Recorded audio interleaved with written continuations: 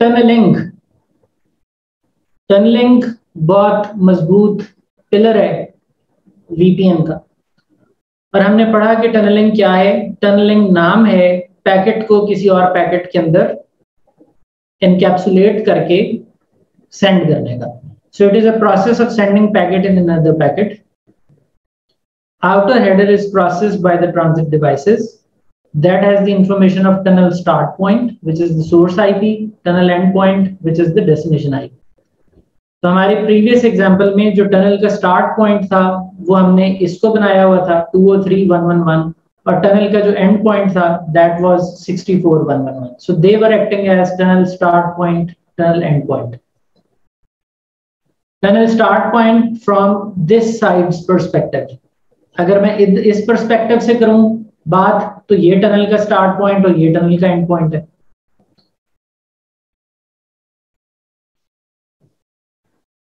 Tunnelling consist of three main components passenger protocol carrier protocol and transport protocol passenger protocol क्या है, जिसको आप encapsulate कर रहे हैं? This is your passenger usually ये आईपी वर्जन फोर का पैकेट होता है। तो this is passenger transport protocol किसे कहते हैं? The protocol use to carry encapsulated protocol यानी the main transport protocol which is IP so ये जो आउटर हेडर है that is your transport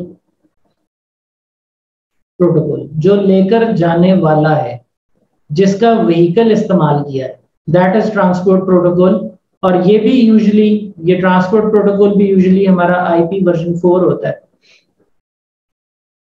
so so actually हम क्या कर रहे हैं? IP version four in IP version four ये कर रहे हैं।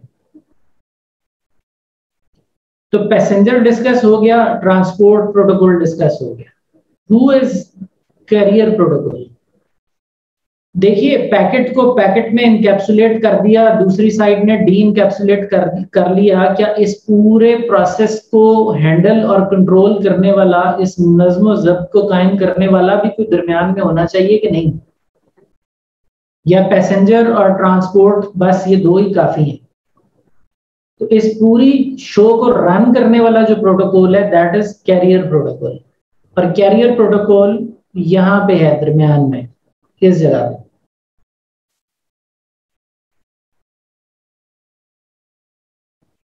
So we get another header and that header is of a carrier protocol अच्छा जी कैरियर प्रोटोकॉल जो है, उसका हेडर यहाँ पे आता है,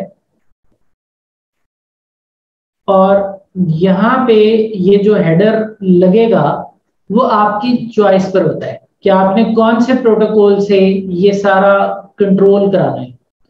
उनमें बहुत मशहूर प्रोटोकॉल जीआरई भी है I P in IP itself भी है आईपी सेक भी है एल टू टी पी भी है एमपीएलएस भी है M P L S itself does not provide privacy but it is tunnelling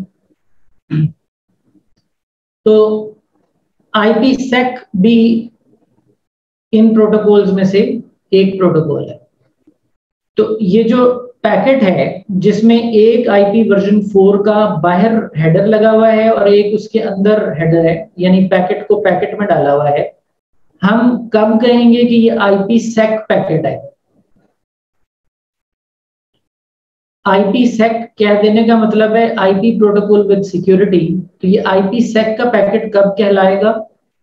होगा एक आउटर हेडर जिसके अंदर एक पैकेट समाया हुआ है। होगा यही फॉर्मूला लेकिन ये जो दरमियान में हेडर का फ़ील्ड डला हुआ है, ये आईपी सेक की टेक्नोलॉजी पर मबनी होगा। तो हम बोल देंगे ये सारा पैकेट आईपीसेक है। अगर ये टेक्नोलॉजी हम यहाँ पे जीआरई की यूज़ कर लेंगे तो हम बोल देंगे ये जीआरई का पैकेट है सारा।